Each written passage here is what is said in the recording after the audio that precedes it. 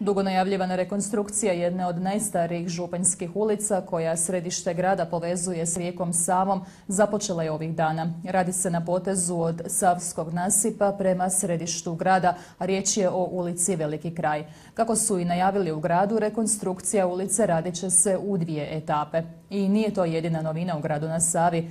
Prvi su grad, kako kažu, koji će uvesti prepaid bonove za parkiranje. Ni prašina, ni brojenje strojeva, ni otežano prometovanje stanovnicima velikog kraja ne predstavlja problem. Kažu, napokon je krenula dugo najavljivana rekonstrukcija koja će riješiti njihove brojne probleme. Prije svega, ljepše i lakše će se prometovati, bez razmišljanja o tome hoće li na nekoj od neravnina na kolniku oštetiti automobil. Investicija je vrijedna 3,5 milijuna kuna, prvo smo kompletan postupak i pitanje javne nabave i uzimanje kredita.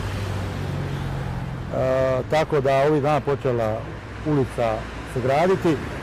Radimo dvije faze, jedan dio ide od nasipa do e, crkve, a drugi dio od crkve prema semaforu. Ili preciznije, prema središtu grada. Gradski oci očekuju završetak rekonstrukcije početkom srpnja. Mislim da će Županja ono, dobiti ono što treba, da će kompletan centar konačno biti uređen. Ja očekujem da ovaj dio Županje stvarno dobije jedan prekrasan izgled, i konačno, po meni, to je zadnja faza izlaska grada Županje, grada na na Savu. Rekonstrukcija ulice Veliki kraj nije jedini novitet u Županji. Tvrtka Stanobiro u čijoj nadležnosti je parking uvodi takozvane prepaid bonove. Riječ je naime o parkiranju na bon kojim se parkiranje plaća unaprijed. Rješenje je to svakako za one koji nemaju za SMS ili sitnog novca za automat ili su zaboravili platiti parking. Bon košta 20 kuna. To je virtualni bon, znači svi imamo, većina nas ima ovaj, smartfone, pametne telefone. Kontrolor dolaskom na parkiralište i ukucavanjem, upisivanjem registracije u terminal dobiva informaciju da je vlasnik toga vozila, te registarske oznake, kupio e, prepaid bon, ima zakupljene sate parkiranja.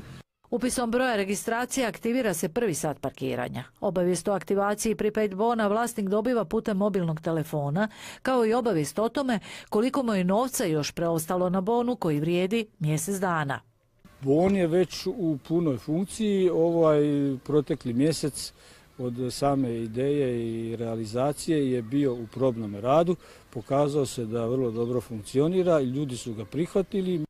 Do sada je prodano oko 50 prepaid bonova. U stanu birovu očekuju kako će se taj broj ubrzo udvostručiti. 700 parkirnih mjesta u Županji podložno je naplati.